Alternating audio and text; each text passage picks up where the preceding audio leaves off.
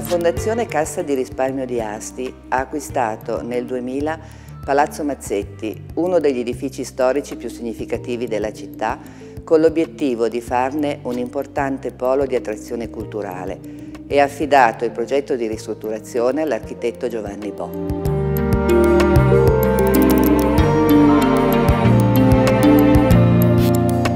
L'intervento su Palazzo Mazzetti ha richiesto particolare cura ed attenzione.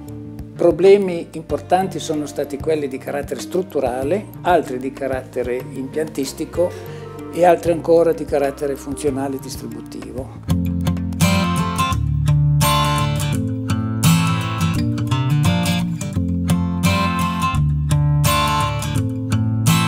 C'è stato un importantissimo contributo da parte di tutte le sovrintendenze che con le loro visite periodiche in cantiere hanno fornito elementi ed indicazioni importantissime per lo sviluppo di tutto il lavoro. Il 18 aprile 2009 è stato inaugurato il primo lotto di lavori di restauro di Palazzo Mazzetti.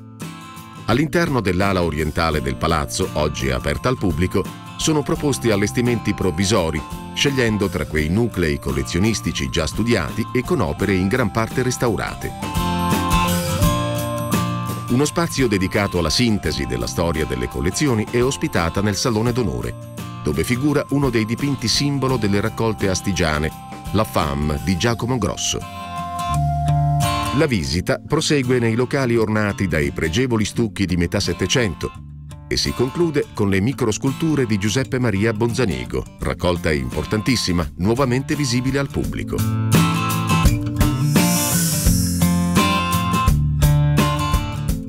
Troviamo a Frinco, un comune a pochi chilometri da Asti, che fu antico feudo dei Mazzetti, che furono prestatori di denaro e mercanti.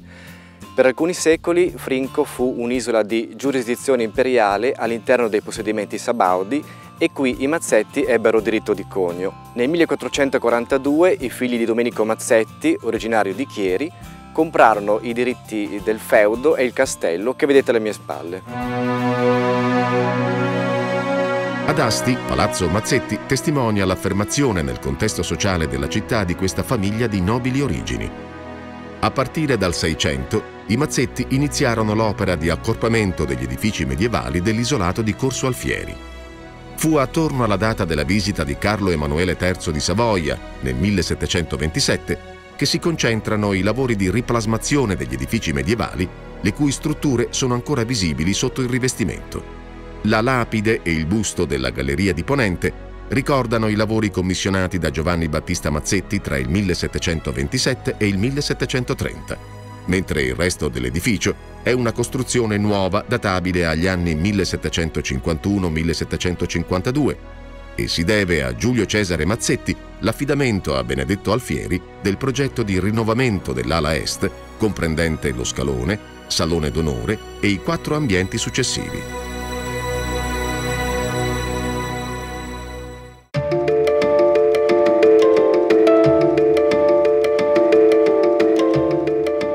Sotterranei di Palazzo Mazzetti e qui abbiamo ritrovato più di 3 metri di accumuli, sedimenti, depositi di terreno, rifiuti, un accumulo che l'archeologo legge eh, scavandolo in senso inverso rispetto al tempo in cui si è depositato, dallo strato più recente allo strato più antico e in questo modo ha la possibilità di ricostruire la storia del luogo dove ci troviamo. Le città in cui viviamo, infatti, sono il risultato di una sequenza di vita che si è mantenuta per la durata di molti secoli sempre all'interno della stessa area, determinando una differenza di diversi metri tra il livello originario e quello attuale.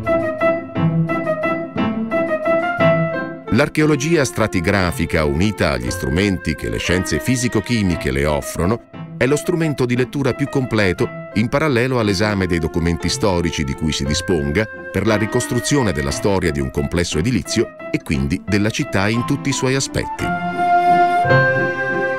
Al di sotto delle nostre città, delle case e dei pavimenti su cui camminiamo c'è un giacimento da proteggere e da esplorare.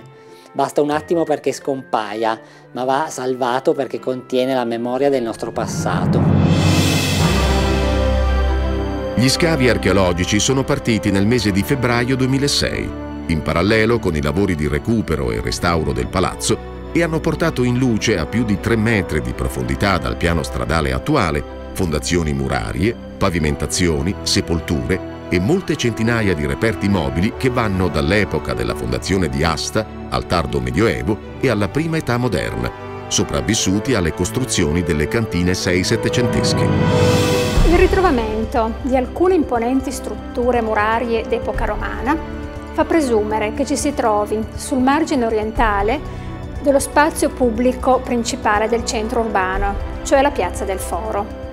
Questa ipotesi sarebbe confermata anche dal ritrovamento di un'epigrafe con dedica al Collegio dei Fabbri, l'associazione professionale più importante della città, che qui doveva avere la propria sede. Accanto ad almeno due fondi di capanne seminterrate sono state individuate sei sepolture, mostrando la progressiva disgregazione del tessuto urbano all'inizio del Medioevo tra VI e X secolo. Questo periodo è infatti caratterizzato dalla perdita di organizzazione urbana, compresa la mancanza di definizione delle aree cimiteriali. Uno splendido pettine in osso di età longobarda è l'unico oggetto che abbia accompagnato uno di questi defunti.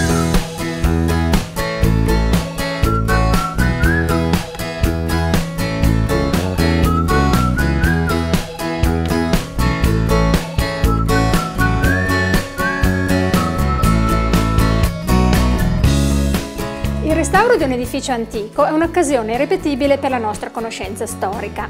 Storia dell'architettura, ma anche della cultura materiale, dei modi di vita e degli usi alimentari, attraverso gli innumerevoli reperti che vengono ritrovati in occasione delle indagini archeologiche. Durante le fasi di scavo, ogni elemento ritrovato viene dettagliatamente documentato, viene numerato e fotografato. Per ogni elemento individuato viene compilata una scheda di unità stratigrafica che contiene la descrizione delle sue caratteristiche, la sua localizzazione, le sue misure e il suo legame con gli altri elementi circostanti rinvenuti. Un rilevatore poi ha il compito di elaborare un rilievo in scala che riporti anche le quote altimetriche sul livello del mare di ogni singolo elemento ritrovato. Prima di iniziare lo studio dei reperti mobili rinvenuti, è necessario che tutti i frammenti ceramici vengano estrapolati e lavati. Una successiva selezione per classe e inventariazione di tali frammenti unitamente al vaglio di tutti gli altri reperti permette di separare i reperti più significativi e rilevanti. I frammenti che si ritiene necessitino di un restauro vengono quindi trasferiti in laboratorio, dove restauratori specializzati provvedono, con strumenti adeguati, alla loro cauta ripulitura dai depositi di terra, al loro consolidamento e, dove possibile, a piccole integrazioni. Fondamentale per lo studio dei reperti ceramici è il loro disegno, attraverso il quale è possibile ricostruire la forma e le dimensioni dell'oggetto come era in origine. Durante le indagini archeologiche sono stati ritrovati alcuni resti ossei umani che opportunamente preparati per il trasporto sono stati trasferiti in un laboratorio specializzato per essere sottoposti ad analisi antropologiche. I resti scheletrici di Palazzo Mazzetti di Asti sono arrivati nel laboratorio di antropozoologica per essere sottoposti allo studio antropologico.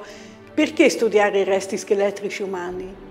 Certamente non per soddisfare delle curiosità macabre, ma perché questi materiali ci possono offrire una serie di informazioni che possiamo definire di prima mano sulle condizioni di vita delle popolazioni del passato. In primo luogo le ossa devono essere ripulite da ogni minima traccia del terreno di giacitura.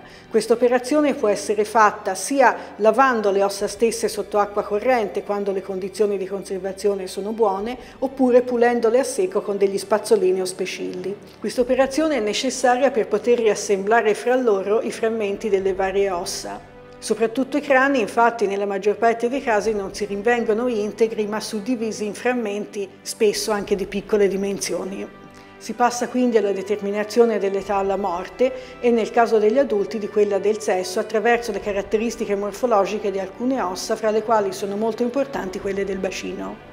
Successivamente le ossa vengono misurate con degli appositi strumenti che sono il compasso a branche dritte, il compasso a branche curve, la tavola osteometrica e il mandibulometro.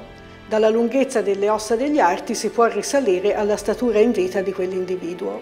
Queste sono naturalmente soltanto le prime fasi dello studio antropologico completo.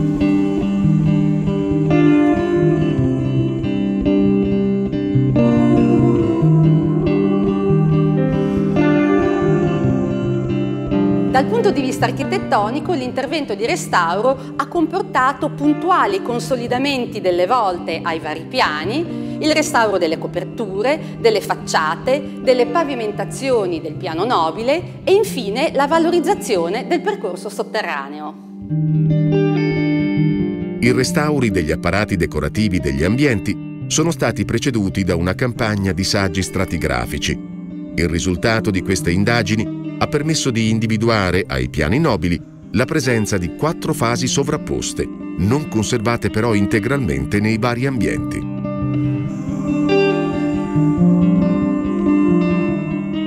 L'unica scelta possibile per l'intervento di restauro delle superfici decorate è stata quella di recuperare le cromie novecentesche presenti sulle volte e sugli stucchi, attraverso il consolidamento, la pulitura dell'esistente e l'integrazione delle lacune.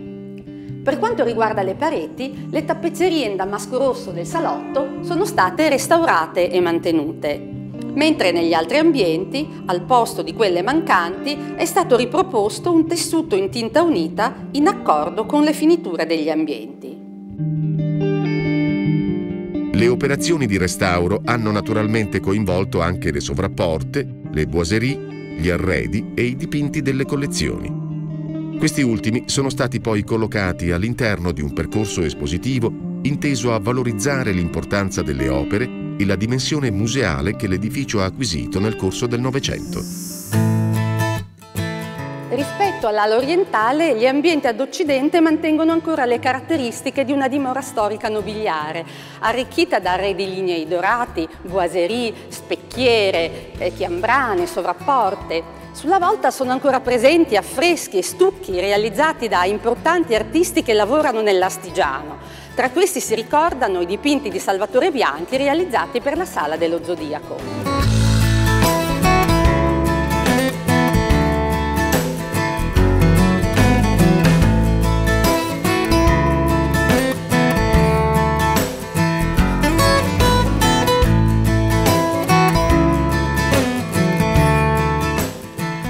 Al termine dei lavori di restauro, Palazzo Mazzetti sarà di nuovo visitabile nella diversificazione dei suoi contenuti, da dimora storica a museo, da sede di esposizioni temporanee a luogo di incontro e di cultura di grande rilievo per la città.